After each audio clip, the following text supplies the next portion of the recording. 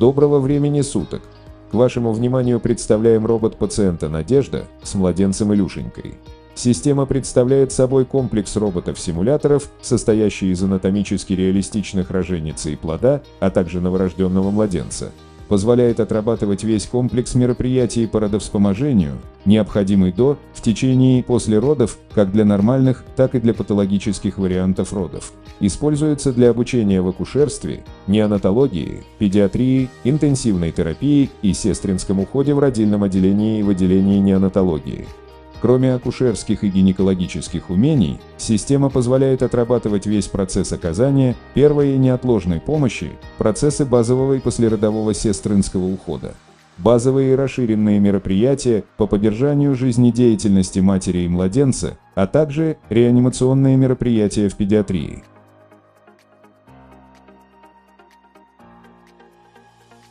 Особенности программы и манекена роженицы – симулятор мультипараметрического монитора, симулятор фетального монитора, механизм движения плода по родовым путям, дефибрилляция, кардиостимуляция, искусственная вентиляция и компрессия грудной клетки, создание клинических состояний, формирование и сохранение сценариев, сравнительный анализ зрачков, билатеральный пульс на сонной артерии, интубация трахеи, инъекции в дельтовидную мышцу плеча, инъекции в латеральную мышцу бедра и внутривенные инъекции.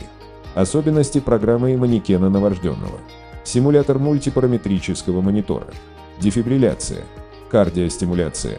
Цианоз. Создание клинических состояний.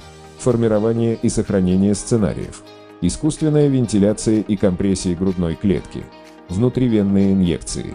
Катетеризация пупочной вены пульсация бедренной артерии с помощью груши и последнее – интубация трахеи.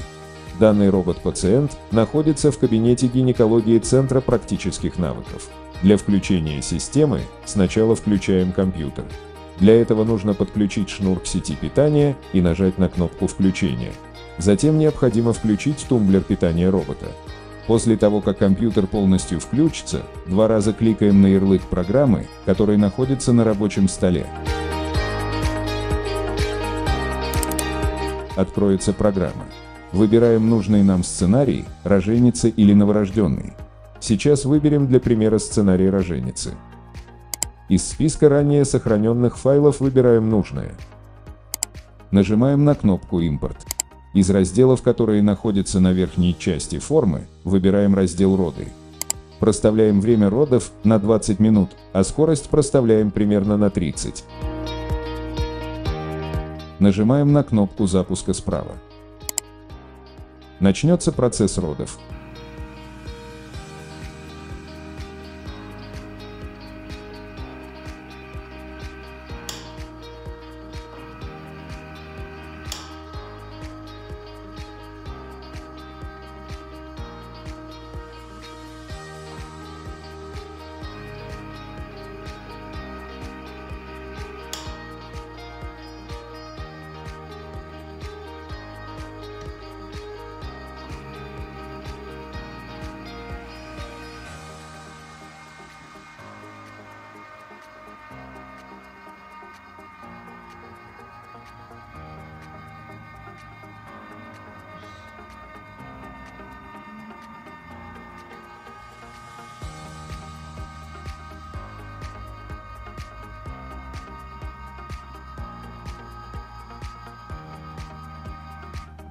Процесс выполнен.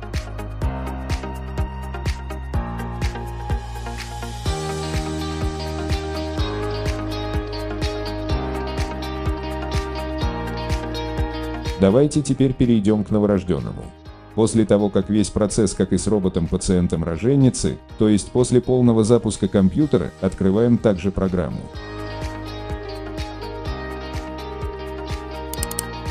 Выбираем сценарий для новорожденного. Из списка ранее сохраненных файлов выбираем нужное. Нажимаем на кнопку «Импорт». Из разделов, которые находятся на верхней части формы, выбираем для примера раздел «Цианоз». На данной форме есть три степени симптома. Давайте выберем умеренный цианоз и смотрим, какие изменения произойдут. Для имитации умеренного цианоза загораются светодиоды в области рта.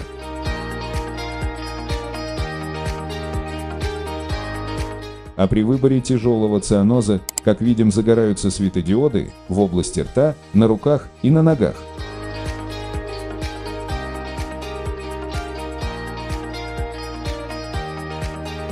На этом заканчивается наш с вами видеоурок по использованию данного робота пациента-роженицы с младенцем. С вами был Центр практических навыков. Спасибо вам за внимание.